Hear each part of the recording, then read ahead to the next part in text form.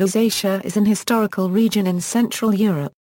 It stretches from the Bar-cubed Bier and Kwisa rivers in the east to the Elbe Valley in the west, today located within the German states of Saxony and Brandenburg and the Lower Silesian and Lubusz voivodeships of western Poland. After the conquest of eastern Germany by the Soviet Army and the partition in 1945, the eastern part of Lusatia along the Lusatian-Neisse River was handed over to Poland where the boundary is called the Odera-Euro-Neisse line. In the Polish part Polish is spoken, and in the German part German, Upper and Lower Sorbian. The biggest Lusatian town is Cottbus cubed Angstrom Ebus. The name derives from the Sorbian word Angstrom way three quarters icy meaning swamps, or water hole. Geography Lusatia comprises two both scenically and historically different parts, a hilly southern upper section and a lower region, which belongs to the North European plain. The border between Upper and Lower Lusatia is roughly marked by the course of the Black Elster River at Senftenberg and its eastern continuation toward the Silesian town of Bzua on the Lusatian Neisse. Neighboring regions were Silesia in the east, Bohemia in the south, the Margraviate of Meissen and the Duchy of Saxe-Wittenberg in the west as well as the Margraviate of Brandenburg in the north. Equals Upper Lusatia equals Upper Lusatia is today part of the German state of Saxony, except for a small part east of the Neisse River around Lubaya, which now belongs to the Polish Lower Silesian Voivodeship. It consists of hilly countryside rising in the south to the Lusatian highlands near the Czech border, and then even higher to form the Zittau Hills, the small northern part of the Lusatian Mountains in the Czech Republic. Upper Lusatia is characterized by fertile soil and undulating hills as well as by historic towns and cities such as Bautzen, Gar paragraph RLITZ, Zittau, La Paragraph Bau, Kamenz, Lubaya, Bischofswerda, Herrnhut, Hospodar, and Bad Muskau. Many villages in the very south of Upper Lusatia contain a typical attraction of the region, the so-called Umgebinter currency user, half-timbered houses representing a combination of Franconian and Slavic style. Among those villages are Niederkinnersdorf, Oberkinnersdorf, Wiersdorf, Jonsdorf, Soland and Esprit with Taubenheim, Upch, Varnsdorf or Ebersbach. Equals Lower Lusatia equals. Most of the area belonging to the German state of Brandenburg today is called Lower Lusatia and is characterized by forests and meadows. In the course of much of the 19th and the entire 20th century, it was shaped by the lignite industry and extensive open-pit mining. Important towns include Cottbus, Eisenhower 1 quarter Tenstadt, La 1 quarter BBEN, La 1 quarter BBENAU, Spremberg, Finsterwalde, Senftenberg, and Angstrom which is now considered the capital of Polish Lusatia. Between Upper and Lower Lusatia is a region called the Grenzwall, literally meaning border dike, although it is in fact a morainic ridge. In the Middle Ages this area had dense forests, so it represented a major obstacle to civilian and military traffic. Some of the region's villages were damaged or destroyed by the open-pit lignite mining industry during the DDR era.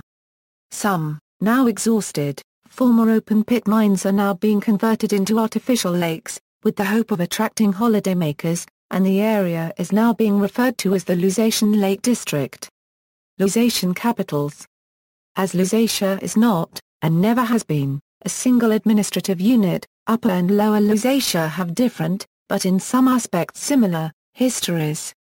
The city of Cottbus is the largest in the region, and though it is recognized as the cultural capital of Lower Lusatia, it was a Brandenburg exclave since 1445.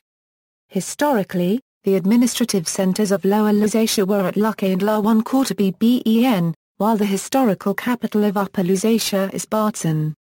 Since 1945, when a small part of Lusatia east of the Oder-Neisse line was incorporated into Poland, Angstrom has been touted as the capital of Polish Lusatia. Sorbian Lusatian people More than 60,000 of the Sorbian Slavic minority continue to live in the region. Historically, their ancestors are West Slavic-speaking tribes such as the Milceni, who settled in the region between the Elbe and the Saale. Many still speak their language, and road signs are usually bilingual.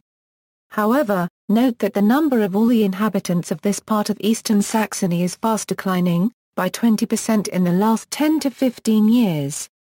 Sorbians try to protect their typical culture shown in traditional clothes and the style of village houses. The coal industry in the region destroyed dozens of Lusatian villages in the past and threatens some of them even now.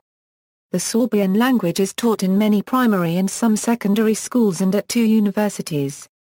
Project Footage is a project of eight preschools where Sorbian is currently the main language for a few hundred Lusatian children. There is a daily newspaper in the Sorbian language. A Sorbian radio station uses local frequencies of two otherwise German-speaking radio stations for several hours a day. There are very limited programs on television in Sorbian on two regional television stations. History equals earliest history equals According to the earliest records, the area was settled by culturally Celtic tribes. Later, around 100 BC, the Germanic tribe of the Semnones settled into that area. The name of the region may be derived from that of the Lygians. From around 600 onwards, West Slavic tribes known as the Milceni and Lusacii settled permanently in the region. In the 10th century the region came under the influence of the Kingdom of Germany, starting with the 928 Eastern campaigns of King Henry the Fowler. Until 963 the Lusatian tribes were subdued by the Saxon Margrave Gero and upon his death two years later, the March of Lusatia was established on the territory of today's Lower Lusatia and remained with the Holy Roman Empire, while the adjacent Northern March again got lost in the Slavic uprising of 983 the later Upper Lusatian region of the Milceni lands up to the Silesian border at the Kwisa River at first was part of the Margraviate of Meissen under Margrave Eckard I at the same time the Kingdom of Poland raised claims to the Lusatian lands and upon the death of Emperor Otto III in 1002, Margrave Gero II lost Lusatia to the Polish Duke Boleslaw I, who took the region in his conquests. After the 1018 Peace of Bautzen, Lusatia became part of his territory, However Germans and Poles continued struggling for administration of the region. It was regained in a 1031 campaign by Emperor Conrad II in favor of the Saxon German rulers of the Meissen House of Wettin and the Ascanian Margraves of Brandenburg, who purchased the March of Lusatia in 1303. In 1367 the Brandenburg Elector Otto V of Wittelsbach finally sold Lower Lusatia to Emperor and Bohemian King Charles IV and it was incorporated into the Kingdom of Bohemia equals Bohemian rule equals, as Margrave Egbert II of Meissen supported anti-King Rudolf of Rheinfelden during the investiture controversy, King Henry IV of Germany in 1076 awarded the Milceni lands of Upper Lusatia as a fief to the Bohemian Duke Vratislav II. After Emperor Frederick Barbarossa had elevated Duke Vladislaus II to the rank of a King of Bohemia in 1158, the Upper Lusatian lands around Bautzen evolved into a Bohemian crown land. Around 1200 large numbers of German settlers came to Lusatia in the course of the Oststlung, settling in the forested areas yet not inhabited by the Slavs.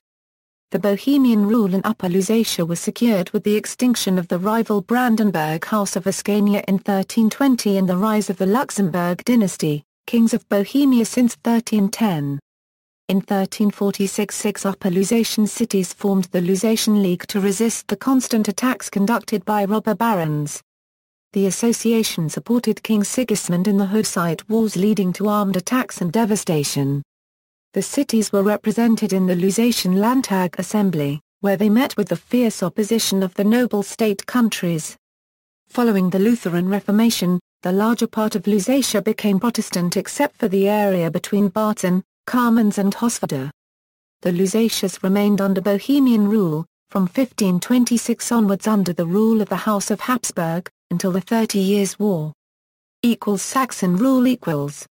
According to the 1635 Peace of Prague most of Lusatia became a province of the Electorate of Saxony, except for the region around Cottbus possessed by Brandenburg. After the Saxon elector Augustus the Strong was elected King of Poland in 1697, Lusatia became strategically important as the Elector kings sought to create a land connection between their Saxon homelands and the Polish territories.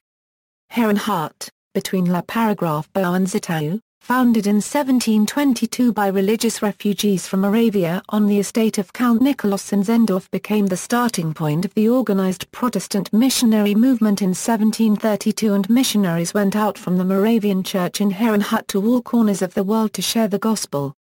The newly established Kingdom of Saxony however sided with Napoleon, therefore at the 1815 Congress of Vienna, Lusatia was divided, with Lower Lusatia and the northeastern part of Upper Lusatia around Hospodar, Rothenburg, Gar paragraph RLITZ and Lauben awarded to Prussia. Only the southwestern part of Upper Lusatia, which included La Paragraph Bau, Kamenz, Bautzen and Zittau, remained part of Saxony. Equals Prussian and German rule equals, the Lusatians in Prussia demanded that their land become a distinct administrative unit, but Lower Lusatia was incorporated into the province of Brandenburg, while the Upper Lusatian territories were attached to the province of Silesia instead. The 19th and early 20th centuries witnessed an era of cultural revival for Slavic Lusatians. The modern languages of Upper and Lower Lusatian emerged, national literature flourished, and many national organizations such as Małajka Serbska and Domowina were founded. This era came to an end during the Nazi regime in Germany, when all Sorbian organizations were abolished and forbidden, newspapers and magazines closed, and any use of the Sorbian languages was prohibited. During World War II, some Sorbian activists were arrested, executed, exiled or sent as political prisoners to concentration camps. From 1942 to 1944 the underground Lusatian National Committee was formed and was active in Nazi-occupied Warsaw. Equals since 1945 equals.